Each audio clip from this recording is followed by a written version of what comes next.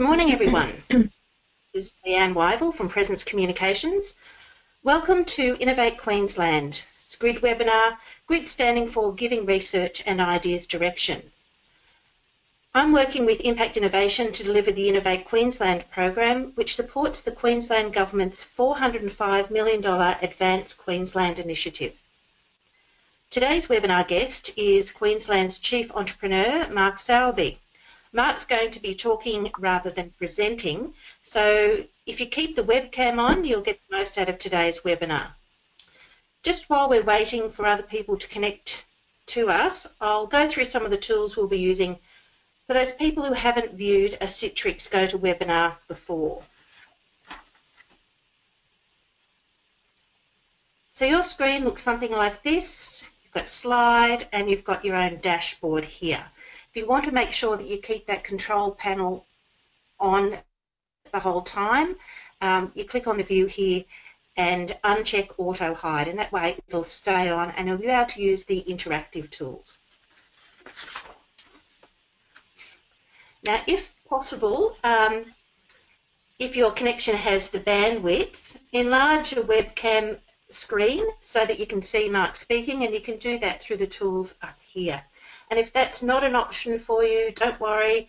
Mark's very easy to listen to. It's not critical that you. There are no slides that you have to look at, so um, just tune in as best you can. A couple of interactive tools that we have, and I will be testing one in a moment. Um, one is the raise your hand feature, and the other is type in a question. So throughout the webinar, if you have a question for Mark, please type it in there and then we'll address questions afterwards. He's going to uh, do a, a, brief speech and then answer questions. We have uh, quite a number of people, well over 100 people for today's um, webinar, so we may not get through all our questions live, but we will certainly address any questions that come through the system. Okay. Now, in a moment, you're going to um, see Mark, and uh, while he's he's preparing to for his speech, I'm going to explain why Mark was appointed as the first chief entrepreneur for any state in Australia. Uh, Mark is one of Queensland's most successful entrepreneurs and is best known for his role as the founder and former managing director of Blue Sky Alternative Investments Limited. Blue Sky is, is a successful ASX listed diversified funds manager focused on alternative assets, investing across private equity, venture capital, private real estate, water, infrastructure, hedge funds, and agriculture, and possibly kitchen sinks. From its early beginnings in Brisbane, Blue Sky has now grown into one of Australia's top 300 listed companies, employing over 80 people in Australia and New York. Mark remains an advisor and significant shareholder in the business. Ten years after starting Blue Sky, Mark handed the business over to the team to spend more time with his family and to help with projects that have a positive social impact. Mark received the University of Queensland Vice Chancellor's Alumni Excellence Award in 2015 and was recognised as Ernst & Young's Entrepreneur of the Year for Queensland. He's also completed a successful crossing of the English Channel. Mark serves on the board of Starlight Children's Foundation and for Racing Queensland.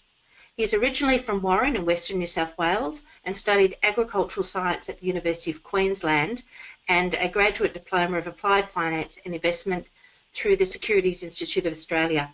He also has a Masters of, uh, Business Administration from UQ. So now I'm just going to check that everyone, can you see Mark? If you can't see Mark, um, we'll need to know. But hands up, use the hands up tool and let me know if you can see Mark. Oh, this is looking good. Yes, okay, so everyone can see Mark. Well, Mark, your turn to talk. Welcome to the webinar. Thanks, Leanne. And for those of you that can see me, I'm sorry. Uh, you'd be better off if you couldn't. But hopefully, uh, hopefully you'll enjoy the chat that we have this afternoon. Um, so thanks, Leanne, for the introduction. Uh, it's an interesting role. I think now um, taking on this chief entrepreneur's job Uh, and I guess if you think about the context of that around what Leanne said, um, it's around that social good piece. And so where uh, where can I personally have an impact that I think leverages the stuff that I've learned over the last 20 years and particularly the last 10 uh, through the Blue Sky journey and how we can use that to uh, take Queensland from being seen to be, you know, well down the rung uh, in terms of its work in the entrepreneur and startup space and a whole bunch of other things and take Queensland to that leading position and, and most certainly I think that the Office of Chief Entrepreneur will help us do that. Um, so what I thought I'd do uh, for the discussion today is, is really open um, really broadly to lots of questions around different things. And the first thing I usually like to do is to go through and uh, talk through the blue sky journey. And so, and try and give an idea of what it is like to be, uh, you know, in that entrepreneurial space. And, and, and maybe at the end of that, we can talk about um, uh, how entrepreneurship can change uh, not only the state and the economy, but how it can change your own life. Because I don't think that the innovation tag word and everything else and motherhood statements that are being used are really connecting with people, but but changing your life can, and certainly that's been my experience. Um, I'm certainly going to be open to a lot of questions uh, and happy to answer hard ones and also deep questions. So happy to answer personal ones as well. Um, so uh, maybe if I kick off now with uh, a little bit of background. So you heard the background that I studied ag science. Um, so ag science to private equity uh, is not a usual path. Um, the reality was is that my background um, from little town Warren, west of Dubbo, and then we moved up to another small town, but it was big compared to Warren, which is Moree, which is northern New South Wales. Um, and my family had sent us to a boarding school, which was on a farm uh, in Tamworth, 20 kilometres out of town. So it's about as insulated uh, an upbringing as you, as you can have. And I'm 45 now, so this is pre-email, pre-internet, uh, pre-mobile phones, all those things. So it's, a, it's an incredibly isolated um, insulated environment. And so finding your way out of that, and particularly for those of you that are on this uh, webinar that are from regional areas, is that those regional challenges and geographic challenges um, can sometimes be turned to your strength.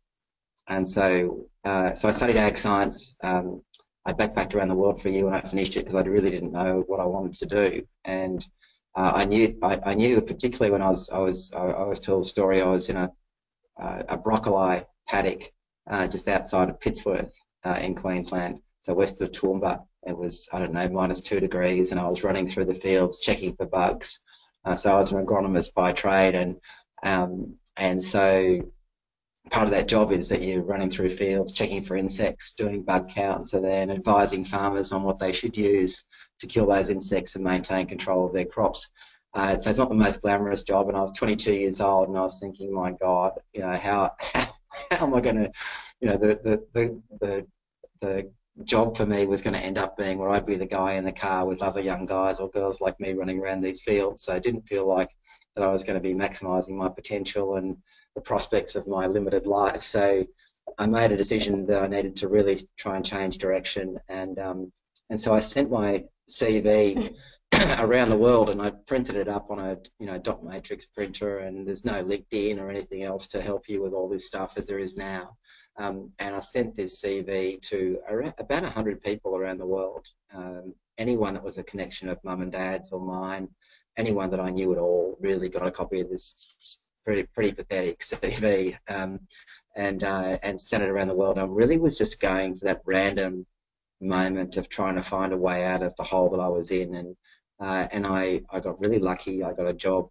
Uh, I got a phone call from a guy in Sydney.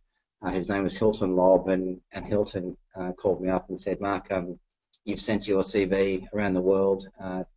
A family called Weil Brothers Cotton, so a cotton trading company based in Alabama, are interested in having a chat to you. They're looking for a young uh, guy, had to be a guy because the places they were going to work with the danger, um, under 26, uh, to become a trainee and work for them in Alabama. Now, Alabama doesn't seem that attractive, but when you're in Pittsworth, it's awesome. And so, uh, and so they they said, well, your your CV. Um, we sent we sent a, a, a, telex and a fax around the, to 18 offices around the world, and um, and uh, your name came up four times, and uh, and that's that random opportunity because I sent 100 CVs out. They said, "What are the chances of that? We're not going to interview anybody else. We're going to fly to Australia and we're going to interview you." and they did, and they flew here and they interviewed me at the what is now the Stamford Plaza. It was the Beaufort Heritage then.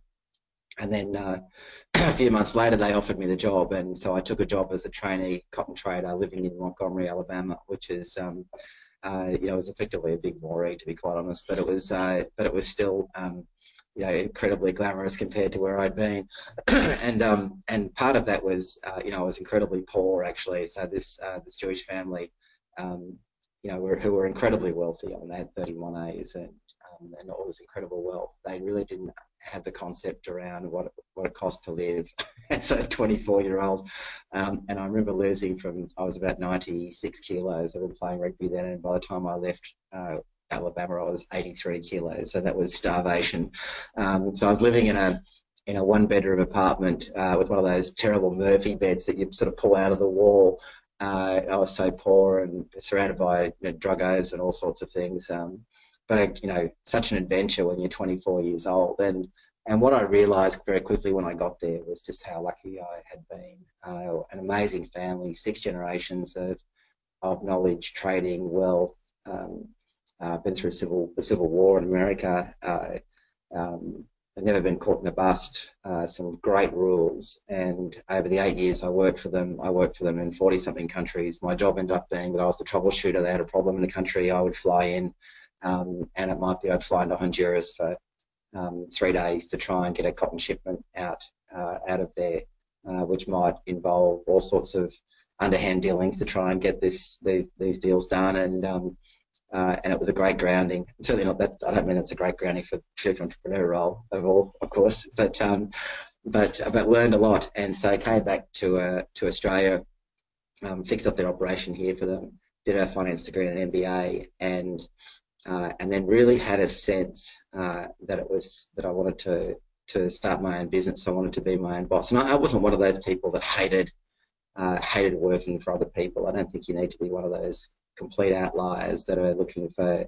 um, you know looking for something where you're the boss and a dictator and all those things. I was already the boss of their operation here anyway, so I didn't feel like I was working in some big corporation. Um, but I did feel that I had more to give.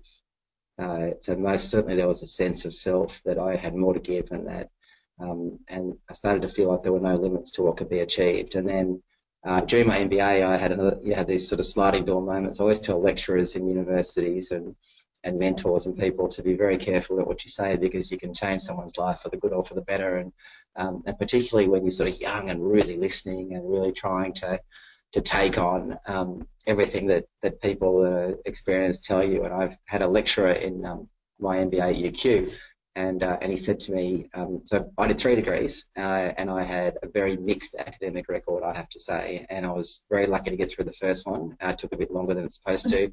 Second one, I got through okay, but nothing spectacular. I would have been at the wrong end of the bell curve, but got through it. And then um, with my MBA, I started to ramp it up a little bit, but I got a high distinction in this subject, and it was strategy. And he said to me, um, he, and it, he was Swedish, and the Swedish and uh, Germans and those sorts of people are, I think, are particularly uh, abrupt and brutal in their assessment. And, and he said to me, Mark, um, uh, uh I've been talking to other lecturers. It appears you have no talents um, uh, other than uh, with uh, in our particular in this particular subject, you can connect the dots, and you need to find a job where you know you're thinking in iterations above other people and some of this stuff. And I'm going to give you the only high distinction in this in this particular subject, and you should find something to do with it that, that, that requires that. And he said, "Have you thought about trading?" And I said, "I was already cotton trader and, and doing quite well." And he said, "What about private equity?" And and so the seed was sown. And um, and so I started to think about what I really enjoyed working for this company, Weil Brothers. I'd rebuilt their Australian operation for them, and I realised that I loved building their business uh, even more than I enjoyed trading, which I loved. And uh, and so then I started to really think about starting my own company. And, and only just a few months later, I, I resigned from that business um, and it was about to start what is what became Blue Sky, uh, Blue Sky Private Equity. But then another moment came, and I got a phone call from uh, from a, farmer co-op in Adelaide from a recruiter who said, um, uh, "Mark, we hear you've just left Weil Brothers. We'd be interested in you running this business and turning it around. It's a bit of a mess. Um, and can you come down and help us? No one had a look and I knew what to do with it. So at 32, I went to Adelaide for three years. My wife and I were in, in what she calls the breeding years. So we were stuck basically, um, doing nothing at all other than, other than um, looking after babies. So Adelaide seemed like a good place to be for that. And, um, and so uh, so so we went down there for three years, uh, saved that business, and turned around, which was very much, I think, a, you know, in hindsight, the reflection of the group that I had, um, not my own skills, sadly, and um, and then uh, and then I. Uh, this the, this sort of trigger, this inflection point came that I've been waiting for for 20 years, and uh, as obscure as it's going to sound, it was the separation of water and land title in agriculture. So the history of that area was that um, uh, when irrigation dams were built, they were attaching water licenses to those dams and they were being attached to the land and were encouraging farmers to, to really take on um, uh, soldier settlements in the south, uh, but up here it was irrigation and to try and use that water to try and have more intensive uh, irrigation. And and the separation of those two asset classes really gave an opportunity where the water was much more valuable than the land and so I started Blue Sky Private Equity in July 2006, which is just over 10 years ago. Um, so at that point, I decided to, I, I, remember talking to my wife Heidi and I said to her, um, okay, it's time for me to start my own business. And she said, that's great. And I said, so we need to sell everything. which is everything. So uh, we had a half a unit at Lennox Head that we owned. We had a house in Adelaide, a few shares, and a bit of cash and stuff, and everything was sold. And that left us with sort of one and a half million dollars plus of cash. Um, after working hard, I was 35 years old and um, and really ready to to try and take on the world. And there's the business plan. To be frank, was pretty pathetic. Um, uh, what I had realised when you think about your own work, I'd realised that um, you, you, don't you don't want to be at work and hating the fact that you're there. I really enjoyed building businesses, so my cunning plan was to be building our business. Uh, so Blue Sky, whilst also helping other people build theirs. So Blue Sky Private Equity was born, and the first deal we did was a startup. which is uh, just insane because startups are hard, and let alone your own startup. So we started, uh, helped start a business called Beach Burrito Company. So for those of you that eat Mexican food, and for those of you that are in Queensland, there's one in the Valley and one in West End and one in Coolangatta. Uh, please feel free, go and get a 10% discount when you mention my name. It doesn't happen like that actually. Um, I would charge you more. So um, there's about 15 or 20 stores around Australia, and um, uh, all not franchised, all company owned, and that, so that business has gone really, really well. Um, and so we started the business then, and uh, and we had the water idea. Uh, we was doing some private equity. I saw some opportunities in real estate in Townsville, of all places. This is obviously a little while ago, back in 06, 07, and we made some good money there. Um, and so suddenly we had a private equity into real estate business, private equity and venture capital business, and this water fund, which you could call infrastructure. And um, and then I had the good sense to go and do a, a short course uh, at Harvard um, and when you get to a certain age, once you've done your sort of base degrees, the, the short courses at the great institutions, I have to say, you are just a great refresher and um, and incredible contacts. And so I, I, I got into this private equity course, and it was October 2007. So it's Harvard's private equity course. So if you think back to 2007, um, that's pre-GFC. I mean, private equity is about as sexy as it can get, and everyone wants to be there. And they had thousands of applications for this course with 80 people and um, I've since become really good friends um, with Josh Lerner, who's the professor that runs that program, and he's the number one private equity and venture capital person in the world. And in fact, is arriving in Queensland tomorrow for us. And and uh, and Josh said to me, we looked at all these applications, and he said there's this ridiculous application from this company from Brisbane with two staff and 25 million in assets under management, which was my forecast for the year. It had nothing to do with what we actually had. I think we had five million under management. Um, there's all these great firms from around the world trying to send their young proteges and management teams to, And, and they said, we just like the idea of having a startup private equity term with a stupid name like Blue Sky in our course. And they love diversity. And so, um, so I got into the course and just it's just one of those week long things. But, um, but the, the, the turning point was that I had the good sense to know that 18 months or 15 months into the business, that it was time to sort of take a step back and have a look at everything that was going on and just get my head out of it. And going overseas and getting on planes is always good for that. So, um, so I stood back and spent a week. As if you ever go to Harvard, um, in Boston to have a look. There's a DoubleTree Inn that's right near there. I stayed there for a week and and just pure luck. Uh, the lecturers were all still there all week. All these they're different to our lecturers here. They're just absolutely commercial animals. They all own their own venture capital firms. They've all um, they've owned pieces of Facebook. They're independently wealthy. They write a book a year just for fun, and so and they actually sell them. They don't just put them on you know onto textbook lists. And so um, and so for all the lecturers for listening in, I really apologise for that. and so um, and so what we did is um, it, it, I had this week, and then this lecturers um, just took me on their journey, but they took me through, and particularly Josh took me on this journey of, well, um, Australia is not going to be investing in just property and bonds and listed equities forever.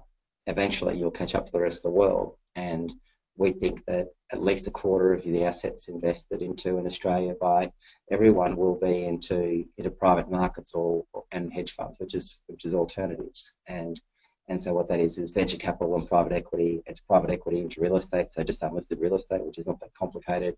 It's hedge funds, it's infrastructure, and what is now called real assets, which is agriculture and timber and um, uh, water as well. And so all those things became, which are all available in the stock market mostly, but this is in the private markets. And so um, Josh said to me, um, uh, "There's you, you can build a business here that uh, is solving for problems Australians don't know they've got. And when you're building a business for a problem people don't know they have, then there's a big education process convincing them that they have a problem. But ultimately, the financial crisis certainly flushed that out for us when people saw the volatility of what they owned. And and so I started uh, started to really think about uh, what was possible. So I went and bought a hedge fund business. Um, suddenly we had all four of those pillars. Um, and we set a goal to list our business uh, five years, um, not long after inception. So it was going to be, we set a goal to list by December 2011. And if there's one tip I can give you is that um, is that uh, you know the structure that we use to get there is a really effective way to manage both your business and your life, and that we um, we broke our year into six month bite-sized chunks. So for everyone that has an annual budget, you will know that you do most of the work for your budget at the end. Uh, that's human nature. So if you do six month budgets and six month bite sized chunks, you'll find that you'll achieve things in half the time um, and you won't miss your targets. Uh, we did a five year plan, and the five year plan is not a detailed plan, the five year plan is a story. Uh, and what's our story going to be at five years? And so the story that we said was uh, that we were going to be listed on the Australian Stock Exchange. Now that sounds really boring, but in fact, if you think through, to get listed on the ASX, we needed to have uh, a seriously good team with a great track record in investing. We needed to have credibility in the market, a balance sheet that was sufficiently strong to allow us to list. Uh, and of course, all the compliance mechanisms needed to be through our accounting, through our uh, funds management, and everything else that we did had to be uh, impeccable for us to list successfully on the ASX. And so uh, in, we actually listed a month late, which was disappointing. Um, but in January 2012, we listed uh, Blue Sky as an alternative asset manager with a market capitalisation of $33 million and a balance sheet of $7.5 million of cash and 25 staff and $180 million in assets under management, which wasn't forecast, that was real. That was, uh, we didn't make that one, that one up.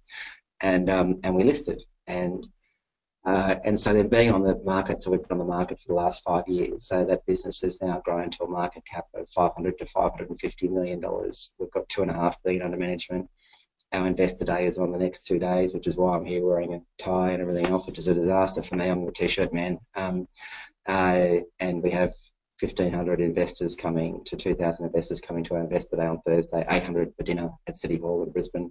Um, and the investment track record of that team has been just sub 17% compounding through the financial crisis net of fees. Um, the stock has been one of the top five performing stocks in the country. And, um, and so uh, but through the course of that, uh, and it sounds all wonderful when you get to that point, and the reality is the business is going to be a hell of a lot bigger than it is today. This business is much more important uh, to the Australian economy and to these markets than um, than anyone that works here.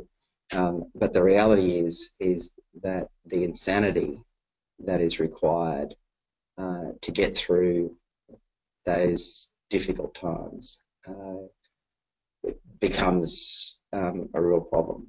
So, uh, you know, you, you all would have seen entrepreneurs, you know, men and women, that you look at them and you think, my God, they're absolutely nuts. And um, and you know, you listen to them and they're dynamic and they're aggressive and they're bouncing around and uh, high energy. And the reality is, is that after a while, they, they probably weren't always like that. And after a while, um, when you've got your own business, it becomes self-fulfilling because you actually need that level of relentless energy and insanity to get through all the horrible things that happen to you from people ripping you off in your own organization, so stealing from you, uh, people selling out on you, um, people stealing contracts, and all the stuff that happens. Uh, all those things happen to you, and you just get these body blows one after another all the way through, and, you, and it never stops. Um, so for me personally, I recognised at the seven-year mark that we were going to be where we are today. Uh, I could see that this business was going to be a multi-billion-dollar business, and so um, decided to um, decided to uh, swim the English Channel. Now, uh, sadly for me, I'm not a particularly good swimmer, and uh, and so had to um, spend a year of training for the training. So I'm also quite old. So what happens is as you get older, you've got to stretch more, and it takes a lot longer to get yourself, you know, fit enough for these sorts of things, and also mentally prepared. So I did a year of training for the training, um, during which you know I had a, a couple of failure points. Um, and it's always interesting talking about the failures. So for anyone on here that's from Sydney or anyone that goes to Sydney quite a lot, when you fly into Sydney uh, and you fly over the Bondi Beach uh, area, there's a swim from Bondi Beach to Watson's Bay. It's ten. It's a ten kilometre swim, and um, and it's a it's it felt very sharky actually. I wouldn't recommend anyone ever go out there. It just felt horrible, uh, deep and dark. And they tell me the fishermen there told me it's a shark superhighway, uh, which I didn't know before I went out there.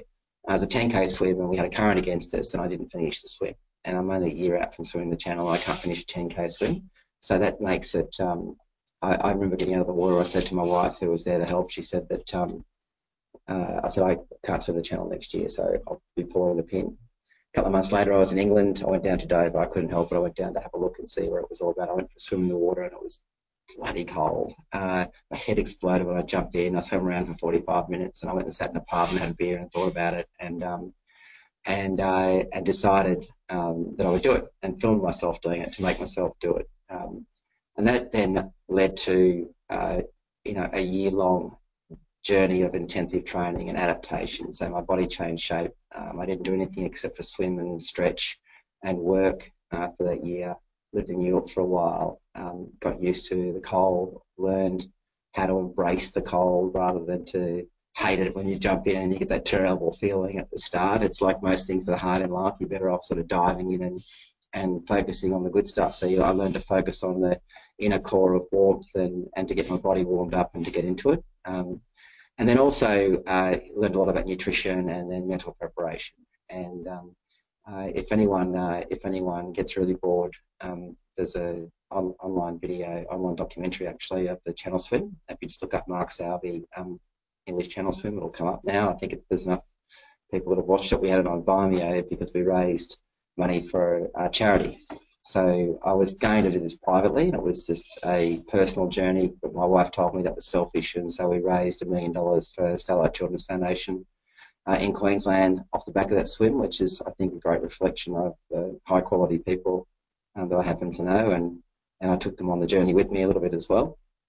Um, so I completed that channel swim in August last year. It's about a 20% strike rate of people that get across the channel over history, so it's a, it's quite a horrible day. Um, and then spent a lot of the last year recovering. And, and one of the things when you do something like that is it breaks you down, and it's the reason I did it actually, was it breaks you down into your core component parts. And, um, and so a lot of that insanity and a lot of the characteristics that I was displaying as a human being, which were pretty ordinary, uh, I just needed to be able to offload those and get back to the core person of who I was after all these years of insanity. And um, and so the channel swim was very effective for me in doing that. And the outcome of that was is that I decided to retire uh, from the business, uh, which I did announced in August and finished in the end of September. I still own a lot of shares. I'm in the Blue Sky offices today, so I'm always be uh, with Blue Sky. But the reality is, um, is I needed to hand the business over and I need to spend time with my 14 year old and 12 year old boys and um, and my lovely wife, although I think it's an, she's adapting to that right now. Maybe she needed a year of training for the training, to be quite honest.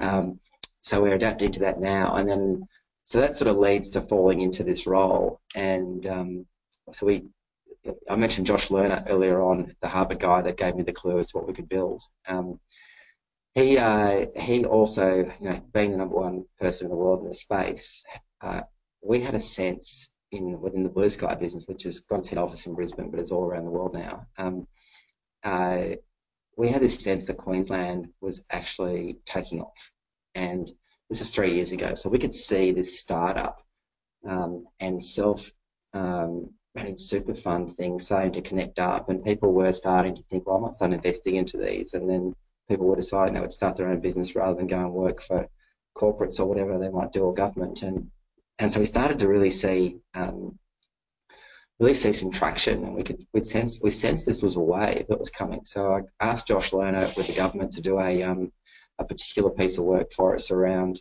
um, around where was Queensland at, and the reality is is that we're in a bad place. So uh, the way Josh described our business, our, our state was um, uh, he'd never seen a state with more R and less D, so more research and less development. So proportionately, the amount of research going on here was just incredibly large. Um, and but on the other side, uh, uh, we had virtually no development or commercialization of those ideas. In fact, no connection. And one of the problems with the research was that there was way too much basic research. So research without a goal. So you need a certain amount of that, but we had too much basic research. So how do we how do we recalibrate that? And and Josh, out of that came a whole bunch of recommendations. And it's really exciting when you're you know a non-government person with no idea how to manage public policy to see that report has now formed approximately 40% of the Advance Queensland program. Um, and one of the outcomes, be careful what you wish for, because one of the outcomes of that was the Chief Entrepreneur's Office, and um, uh, and uh, and so with me retiring, it seemed um, you know logical to the government for me to to spend some time setting up that office and getting it going. So now I'm in that role uh, for 12 months, uh, doing that uh, part time, although it's really full time, uh, for free.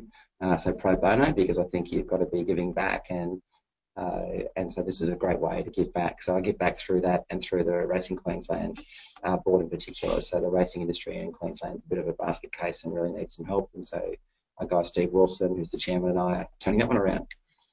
Um, so the office itself, so I'm going to open to questions really soon. So start getting your questions ready. Um, I think the uh, if they're not already coming through, um, the the, the, the office itself. So really, uh, one of the real challenges for the private sector and for the public sector is actually talking to each other. So it's communication and translation, and I've seen that already. And uh, my initial, after doing this for a month and a bit, there's a couple of initial assessments. Is um, that being a private sector person with virtually no experience dealing with government at any level, because we just didn't ever deal with government. Um, I always had this perception that that people in the private sector worked harder, uh, and and uh, that's not true.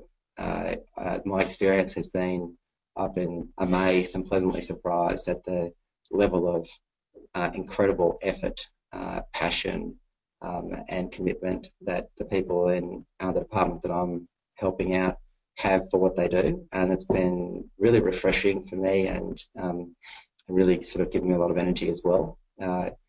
So our, our job is to really take that passion and to allow them to deliver that to the private sector, who the private sector desperately needs, and the startup sector needs government, but as a catalyst. And if you look at the Advance Queensland program that's in place, it's lost lots of small bits. Uh, it's quite well structured. There's a lot of really good ideas, and there'll always be things we can do better. But by and large, it's a bloody good program, and uh, and it has lots of little things that it does. So it's not there to pick winners or to to drive dramatic change in one particular industry. But what it does do, it gives people a platform to get started. And ultimately, entrepreneurship is mostly around having the guts to get started and the conviction to stay the course. Um, so maybe at that point, I think, um, Leanne, I'll open it up to some questions because I've gone for 30 minutes, which is plenty. Thanks very much, Mark. Um, now I'm just checking, I've got some questions here. Um, so now I'm just checking with my screen because I, don't, normally have my screen open at this point. Uh, we've got a question here from Kim. She says, Hello, Mark. I have a company called Flip Flashcards. In the position as Chief Entrepreneur, how are you able to assist us up and coming entrepreneurs? Yeah, so um, so Kim, thanks for the question. It's a, it's actually a really common one that I've been getting since uh, since we came into the role. So you know, um, look, there's there's a, there's a couple of things around startups. So we were a startup ourselves, and and one of the big advantages, Kim, that I've had uh, in the Blue Sky journey is that we got to the point with our venture capital and private equity where we were looking at a thousand opportunities a year, literally 1,000, and that was the stuff that came through from people that we that we trusted. So there's there's lots and lots of opportunities out there. And as a startup, I mean, firstly, congratulations on making the decision to start your own uh, business. Um, in the chief entrepreneur's role, like our our job really is to, um, firstly, is to tell the story of entrepreneurship. And one of the things that I wish that I had been able to do when I started Blue Sky was to connect up with more people that have done it.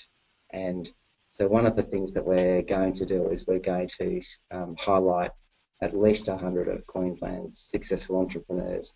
And almost always, Kim, they're willing to give back. Um, they're always, almost always willing to sit down and talk, and many of them actually will end up investing in, in, in those uh, opportunities. So yes, there's no there's no screens to help you in this space. It's all about networks. Um, so we'll be moving into an area which I think has been incredibly well thought through and set up called the Precinct, which is in the Valley.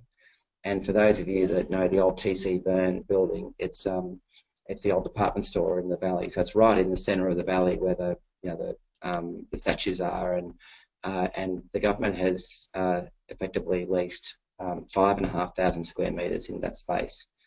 Um, and so that's going to be a platform and a mothership. I, I, call it the mothership, which is where the money is going to be, uh, where Advance Queensland will have some representation, uh, where we expect a whole bunch of incubators and accelerators will be based. Um, we know that we're going to have um, 140 odd people from Queensland Health, eHealth are moving in there to give us sort of to break them out of the, the government mold and to get them thinking innovatively about solutions through uh, through tech. Um, we've got Data 61 moving in there uh, as well um, as part of CSIRO. So there's a whole bunch of groups moving in there. And being in that environment as a startup, and particularly it sounds like you've got a tech business, uh, is just an absolute no-brainer. And um, so what government can do is government can provide a platform for you to succeed.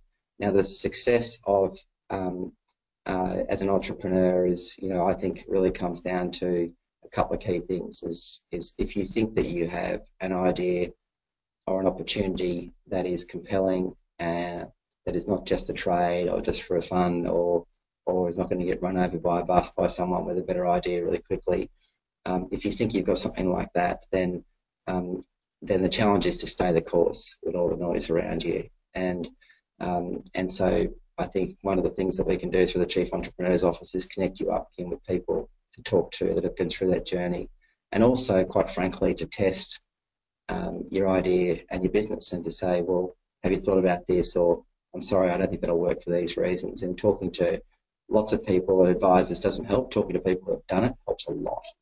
Um, through the Chief Entrepreneur's Office, you know, if you look at the Advance Queensland program, uh, Kim, I mean, if you can't find some money in there for the stage of development you're at, you're not, you know, you're, you're not, you're not paying attention. And although I would say that you're also not alone, and by that I mean is that is that I, I've, I've always found it really hard, and I think people do find it hard to look at their websites and go, you know, where does what's the thing for me? What's the best? Is it an Ignite grant, or, am I ready to go for the business development fund, or you know, I'm on a regional area and I can get a particular grant? And I, I think it's so hard to navigate those things, particularly in the time frames that you need as a startup, where you need to make a decision next week or even last week, um, and then running through a government process that might take four months can be really challenging. So within the precinct, we will um, have an Advance Queensland person that just knows those programs inside out. They're not a website.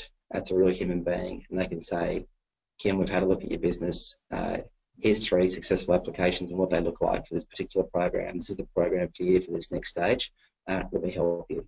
And I think if we can start to do that, then we'll start to allocate the money to the right people, and it'll give you a leg up as well. Um, uh, so there's, there's there's lots and lots of stuff there. I, I have one saying, um, you know, one thing I've been saying to people a lot, Kim, if you can't make it in Australia, you won't make it anywhere now because there's so much government support and private sector support for this space. that if you're doing the work and you're working hard, and um, then then uh, then then you can find a way through. Uh, but it can take a lot of time. So remembering that I didn't feel like we had a business that was really substantial until the seven year mark, and I was 35 when I started, so I was 42, and I started off with one and a half, two million bucks to put into that business. Admittedly, got down to $1,700, which I did not tell my wife. Um, uh, but I couldn't pay the school fees on time. so, um, so hopefully that answers some of your question, uh, Kim. But if you want to contact us, you can easily get a hold of us through the Chief Entrepreneur's Office, and Bronwyn is running all that office. Uh, and we're starting to hire people, and particularly from February onwards, we'll be, I think, you know, resourced up enough to give you a hand. Thanks, Mark. Uh, question from John. You mentioned research without a goal.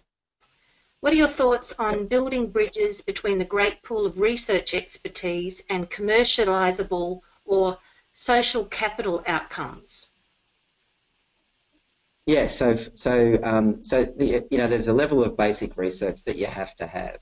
Um, so which is going to lead to that light bulb moment or is going to connect up with some research in another country that's going to lead to something that changes the world. So, um, so there's no doubt that, that, that we need to have some basic research. The problem, I think, um, for the universities as well uh, and for um, you know, many of the other research organisations is uh, that they're not really aiming for anything. And so if you, if you go to some other countries where um, you know, you see the researcher drive in um, to his new lab, privately funded lab, and his Ferrari.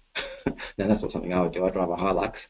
Um, but you can see that, that that commercialization has led to a particular outcome where they've been able to change their life.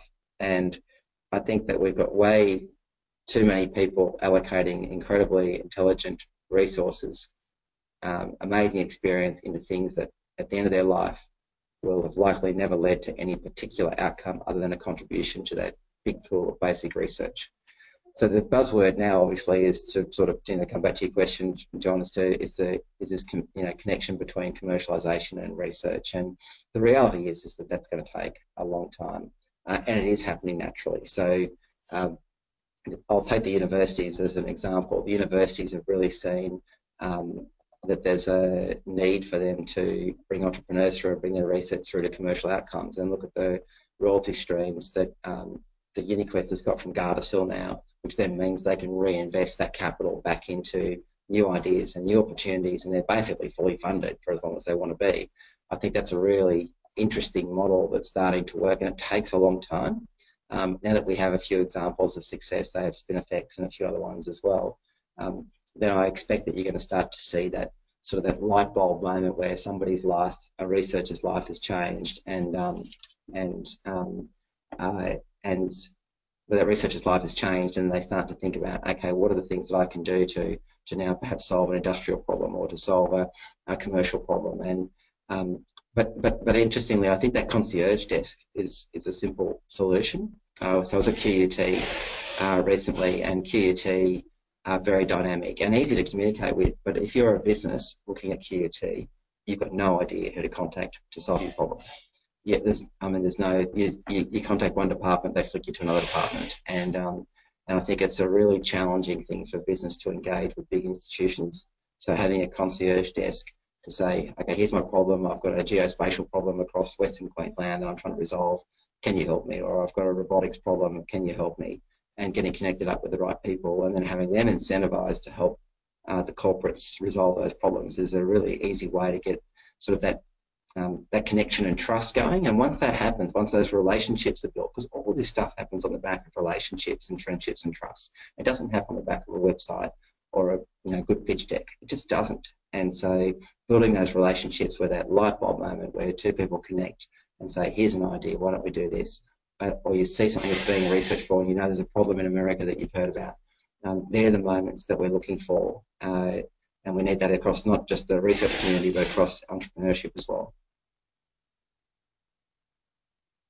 Thanks, Mark. Um, got a question here from Brooke. True investors in startups seem difficult to find, um, and I guess what mm. Brooke's situation is that she's having to pitch to earn a pitch place at an incubator to access yep. investors. So, do you yep. have any suggestions for finding investors via another route? Yes, so um, so, so certainly that is it's, it's actually a good um, it's a really good training ground, Brooke. Um, so so it's interesting that you're going through that process. I think there'll be more and more of that, and in fact, I think the providers of those uh, opportunities will um, will also get better at sort of taking you on a journey. And uh, so I would encourage you to continue to relentlessly pursue that actually that path in particular. It's um, it does help connect you up with investors as well. Uh, a lot of the money that we raised, Brooke, um, were through our friends, family, and personal contacts. And uh, a lot of people don't want to do that because they're scared that they might lose the money and or that it won't work, and then they'll have to deal with that at a family and friendship level. And in fact, that's the test. Um, because if your idea isn't good enough for your friends and your family to put their own money into and all your own money into, then it sure as hell isn't good enough for an Australian investor or anyone else to put their money into as well. And um, and so I, we, we always had a view that we weren't looking for money that was um, outside. We always look for inside money first, and then we could say to people that were outside, "Look, I needed a million dollars. I've raised four hundred thousand from myself and all of our team and everything else that we've done.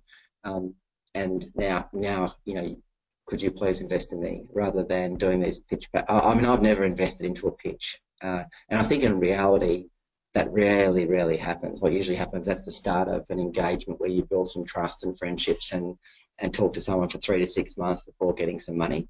Um, so I think attending a lot of those events as well, Brooke, is really interesting to watch. So when you're on one side, where, which you'll be doing, where you'll be pitching, and I love that you're pitching for the right to pitch. It's sort of like training for the right to swim, isn't it? And so you pitch for the right to pitch, uh, and that's all part of the journey and learning about what works and what doesn't.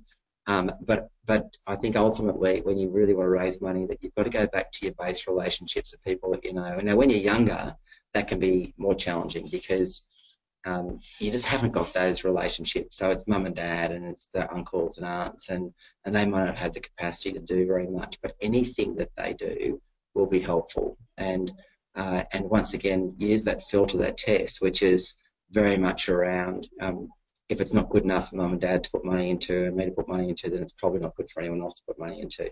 So, so just just as a like I often hear from um, from you know tech businesses and other groups that get venture capital money or angel money, and they say you won't believe the valuation that I got for my business. So, no, got them at such a high price. It, it was never worth that. And, and it's such a common thing because you're trying to preserve your equity whilst get enough cash to grow your business. I understand the motivation. The problem is, is that always ends up in trouble, Brooke. And because if you don't deliver on what you said to, on that valuation and give them an uplift, and it becomes very hard if you set yourself a goal that's you know so high, um, then ultimately you'll always end up in a legal battle.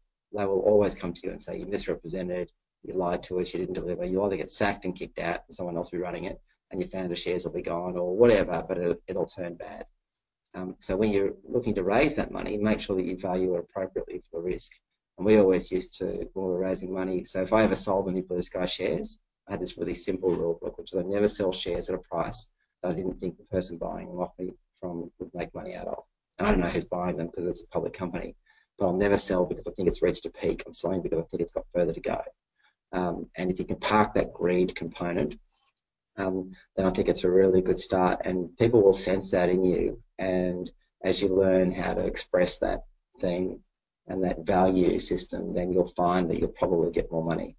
So if you think about the investor problem, is that they're going to be investing into a private company they can't get out of it. They're backing one or two or three people with an idea.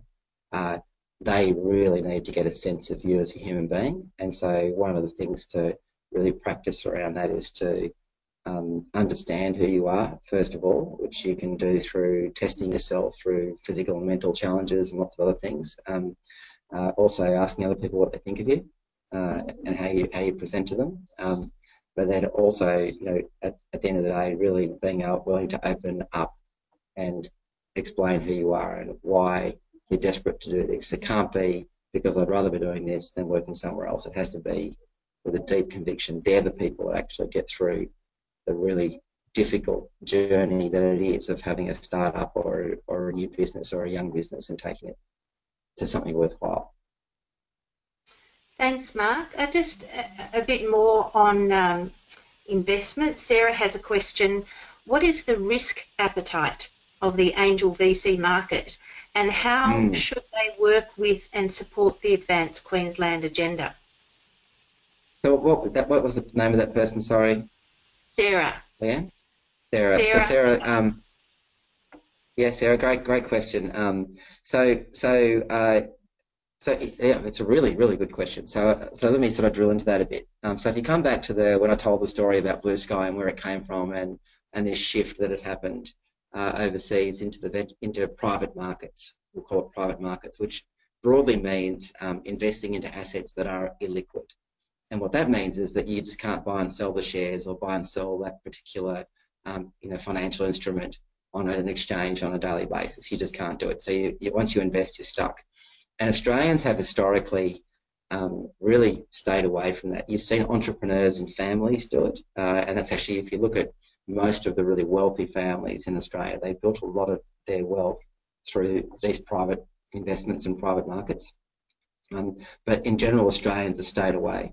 And I think there's one really interesting, uh, there's two triggers, um, Sarah, that have changed that mentality. Um, the first of those is, is the shift to self-managed super funds. So if you're my age at 45 and say you've got half a million dollars in your self-managed super fund, and you can't touch any of that at this stage until you're 65. So there's no point having liquidity because you can't spend it anyway. so not legally. Um, so you might as well invest that into things that you think you're going to grow. You don't need the liquidity, so you're happy to give up that that liquidity premium uh, to access growth because what you really want is you want growth. You want that money compounding up at 15 or 20 or five times money or whatever it's going to be. And so the change to self-managed super in the last five or six years. So when we started our business, where I think Australia was about 24% of, of all the money in Australia was sort of in self-managed super or privately managed super, and now it's 40%. And so it's 31% in self-managed super fund trustees, but it's about 40% of the 100% that's available. So the rest of that's industry funds and retail funds. And so that 60% is actually has actually stepped away from this market a bit. And and the people that are running into that opportunity are those that are private investors because they can't get the growth. The stock market today is at the same level it was when I started Blue Sky 10 years ago. It has not moved. Um, bonds are a scary place to be. Property markets feel like they're pretty well overvalued. So if you want to get to a point where um, uh, where you're making some money out of your investments, then you have to go into growth equity. You have to look off market. And venture capital and angel investing and private equity. So if you go angel investing, then venture capital, and then private equity, so early stage private equity, so not debt but growth equity, that's becoming a really interesting place for people to start to invest. And we saw that evolution in the US. They had a 401k system, which is like our self-managed super. So, so those two things are structural change as well as the change in markets and that these markets are broadly at least fully valued or close to it. So if you want to find that opportunity, look off market. And I had, um, Sarah, I had a um, Gerard Minack, M-I-N-A-C-K, is a famous economist that uh, in, in, Australia who I really like. Um, he's always a bit bearish and negative, but he's also very pragmatic, I think, and um, particularly since he got out of the banks he's he got his own business. Um, he did this chart for me a little while ago, um, and I asked him to give me the total dollar value of all of the public equities in Australia, and it was something like 1.8 trillion or something. Uh, from when we started our business in 2006 to uh, July this year. And then I asked him to do the same for private equities, so unlisted companies in Australia. Uh, and the unlisted companies had grown by 50%, and the listed market had not changed. All the growth is off market, and I think that people have worked this out uh, I think there's a lot of appetite for it. There's a big problem though, Sarah, and that is there are not very many people yet that have the experience, context networks, and the art, and it is an art, of being able to invest that money well. So it's not about the individual making the choices. It's much, it, it is in the angel space, but it's not about the individuals making the choices. It's much more about um, uh, it's much more about um, you saying um, uh, it's much more you much more about you seeing those um, uh, those fund managers that really understand what it is to do this. So if you were going to put your money into a public fund um, that was you know in the papers or whatever else, then you would assume that person has got experience knows what they're doing, 20 years in the game, knows how public markets work, understands short selling, understands liquidity, understands being, um, you know, IPOs, all those things. And it's the same in this market. And the problem, Sarah, is there's actually very few people that are good at it and very few people that have done it. And um, and so that's a challenge. But the angel early stage piece, you can definitely find money. Like if you want to raise a million dollars for a really good business and a good idea, you can definitely get that money. And I don't think you need to be. It's harder if you're sort of sub 25. I think 25 to 30 uh, is a really sort of good age experience wise, uh, or even older. It would be better, but 25 and older, you could definitely get a million bucks. Thanks, Mark. I think you've covered some uh, some other people's questions with the responses on investment and where to source that funding. Um, something quite different. This question comes from Michi, uh, who runs a coaching and consultancy business. So what she has to offer or to sell is her time rather than a scalable product. And she'd like yeah. to know if the Office of the Chief Entrepreneur will be working with businesses like that or just traditionally high growth startups? And do you yeah, so, see room for self funded startups in Queensland? And what was the last bit? And do you see room for self funded startups in Queensland? Oh yeah, look, self-funded startups are the best way to go. like in that way, you keep all the equity. You don't have any directors or investors to report to. For God's sake, if you can do it without someone else's money, Richie, then absolutely do it. And the good thing about selling hours is that you can actually, and so um, so you can usually get you know generate enough cash flow to to grow your own business. But as you said, I mean, it's it's very hard um, to scale that. So the chief entrepreneur's office is not going to be investing any.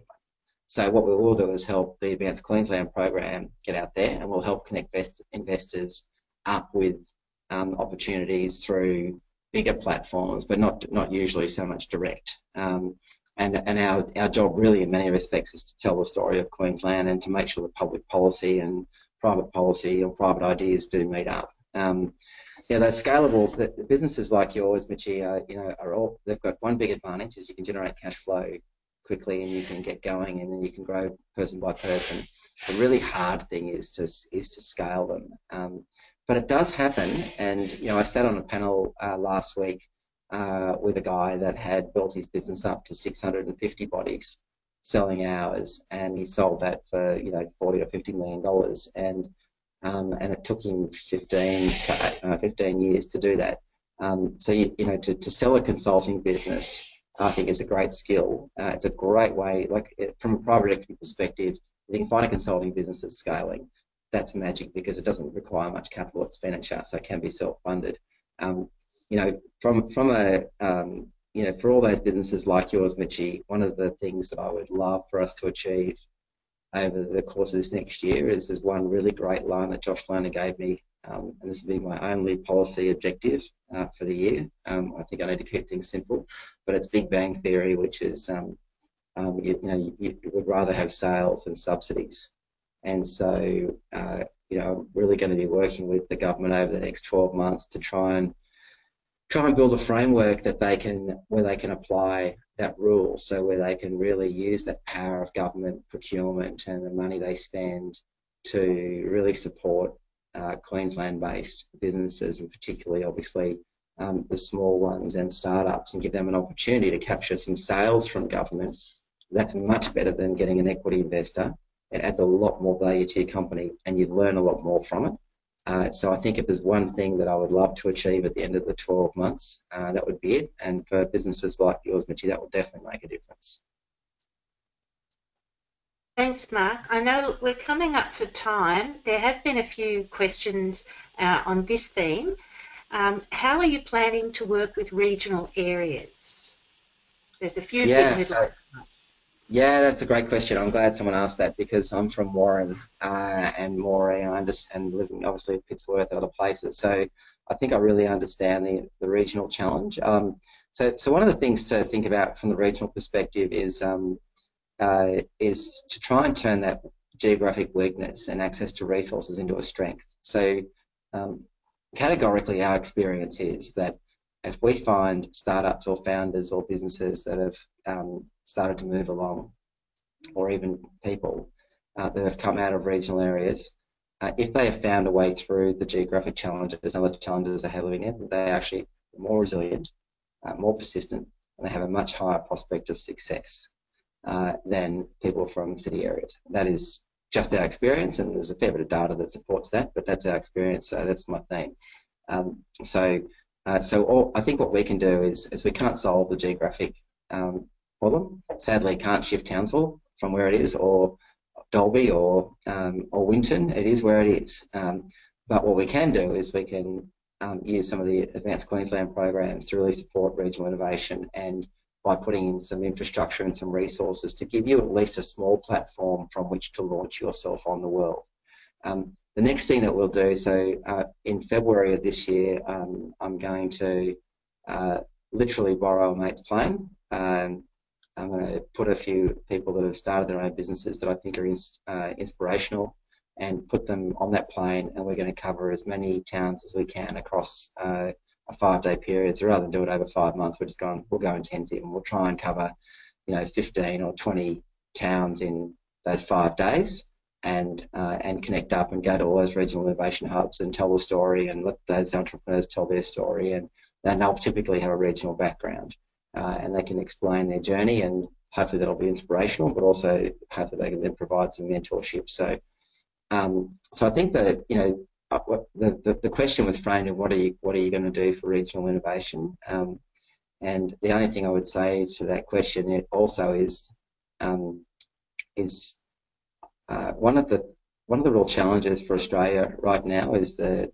um, is that we've got a lot of entitlement culture that we've got to be careful of, and um, I think that um, you know we're ask, I think personally we're asking governments to do too much. Uh, and that we've got to actually ask the government to step back a bit and let us get on with it. And um, and so for regional areas, I think that if you look at the Advance Queensland program, there's plenty of um, solutions to little problems in there. Um, and these things will happen naturally, and the good entrepreneurs will rise to the surface. Uh, and those that want to really, really have a crack will find a way through. And we're seeing some example of that. I'm looking here at SafetyCulture in Townsville. So great example. I mean, he raised 30 million bucks from America out of Townsville. What a legend. Uh, so there'll be there'll be heaps more people like that to say. Uh, I think that takes away that excuse. Well, you can't do it if you're in Townsville. You can actually. So um, it's just harder. But if you get there, you're probably going to succeed. Thanks, Mark. Look, we've we've already gone a little bit over time and there are still a number of questions. Now, I understand that your office is uh, happy to contact those people who have submitted questions yes. and you'll provide an answer for them. Love to. Yeah, absolutely love to. Yeah, for sure. Okay, well, I think what we'll do is because I know that you have a lot um, on today, so if we could uh, just sort of finish up, are there any sort of last um, parting words you'd like to give to the um, Queensland Innovation Ecosystem members who are tuning in today? Yeah, sure. So, um, so yeah, what the thing I'd ask you to do is once we get through this Christmas, New Year's leave season, is um, is take if you're taking the time to get onto this uh, webinar, which has been incredibly well organised. So thank you for that, Leanne. Um, uh, is to get down to the precinct, uh, which is this uh, this massive uh, mothership operation that is going on in the valley. The valley is actually really starting to take off. So there's two things I would do if you're interested in the space: is get down to the precinct and spend as much time down there as you can.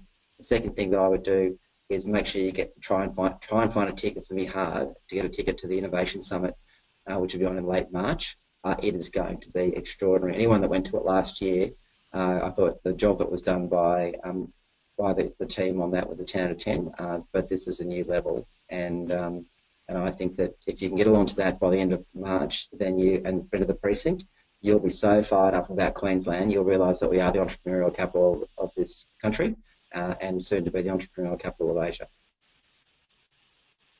Thank you, Mark, and thank you so much for giving your time today to come in uh, and talk to the people who've tuned in. It's certainly one of the most popular webinars that we've ever had, judging by the registrations and the number of people who've stayed through to the end. This uh, webinar has been recorded, so we will be making it, it, available on the Innovate Queensland YouTube channel as soon as we can. Um, and also just a reminder to everybody before we go that you can stay in touch with what's happening with Innovate Queensland and we promote the Advance Queensland programs as well via our GRID online forum via LinkedIn. So if you're a LinkedIn member, go in there, search for Grid Innovate Queensland, ask to join the group, and uh, I'll make sure that you uh, get, get the approval to come on board and find out more. And you can also check out our website, uh, Innovate Queensland website, and uh, Innovate Queensland YouTube channel. So thanks again, everybody, very much for tuning in. We appreciate the input that you give us with all your questions. It helps us to design the program to be responsive to your needs. So um, we'll let you know when our next webinar is happening. Thanks again also to Bron Farden, who uh, has helped with organising today, making this possible. And we look forward to hearing from you again at our next webinar. Bye for now, everyone.